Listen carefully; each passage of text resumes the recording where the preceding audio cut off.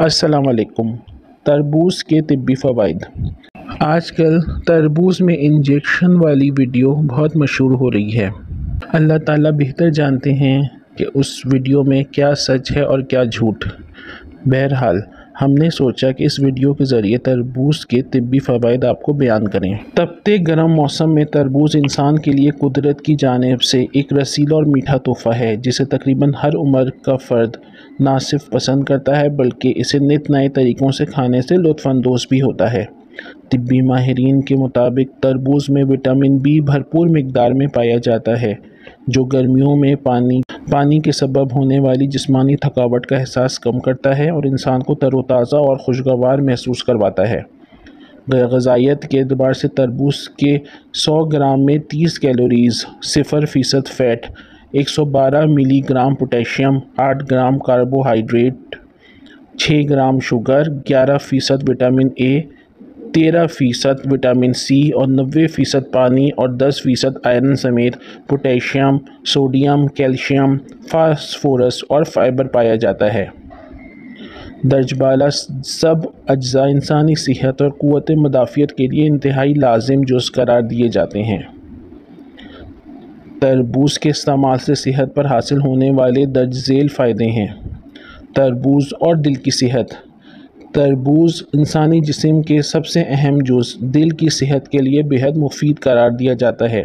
اس میں موجود anti oxidant cholesterol control کرنے میں مدد کرتے ہیں۔ اینٹی آکسیڈنٹ کے علاوہ اس میں پایا جانے والا vitamin A, C, B, six minerals اور لائکوپین دل کی بیماریوں کے لیے بھی سود مند ثابت ہوتے ہیں۔ امریکی یونیورسٹی میں کی جانے والی تحقیق کے نتائج کے مطابق روزانہ صبح ناشتے میں تربوز ایک کاش کے استعمال سے دل کی بیماریوں سے بچا جا سکتا ہے۔ طبی ماہرین کے مطابق تربوز میں موجود قدرتی اجزاء نہ صرف بلڈ پریشر کی سطح برقرار رکھتے ہیں، بلکہ دل کے دورے کی صورت میں مؤثر ڈھال کا بھی کام کرتے ہیں۔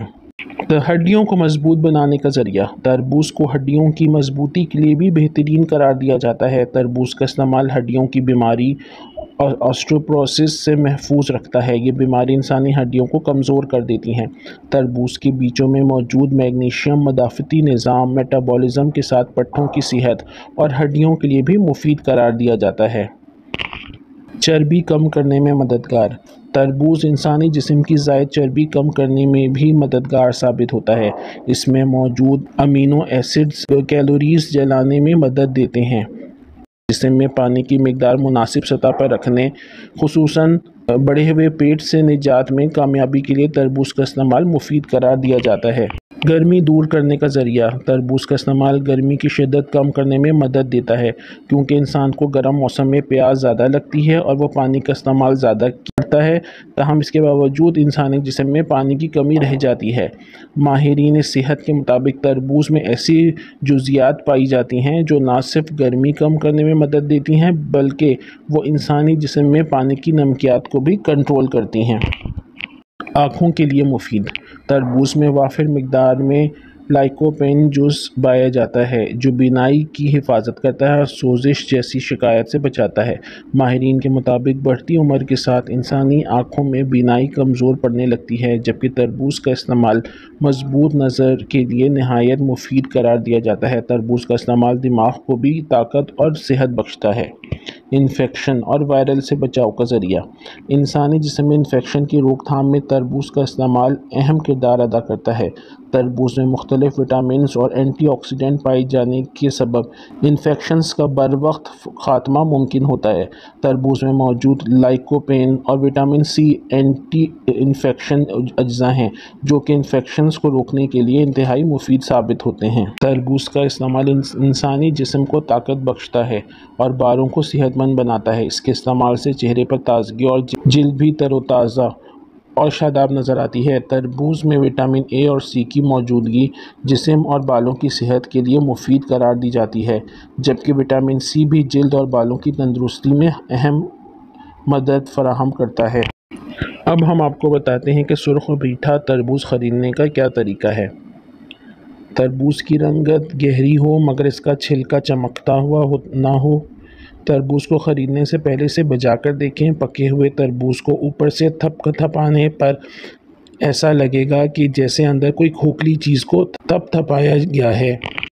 اگر پھل کو تھپ تھپانے سے کوئی ٹھوس جیسی چیز آواز آئے تو یہ پھل کے پکے نہ ہونے کی نشانی ہوتی ہے۔